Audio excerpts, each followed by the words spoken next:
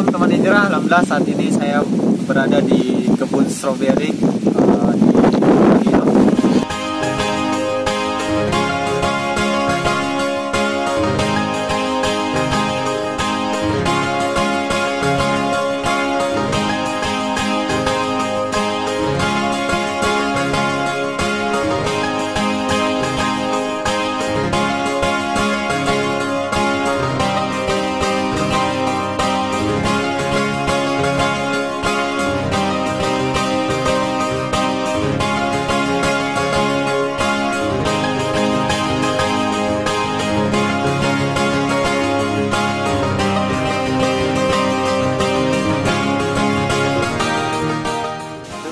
bawah Yungaji dan kembali merchant Yungaji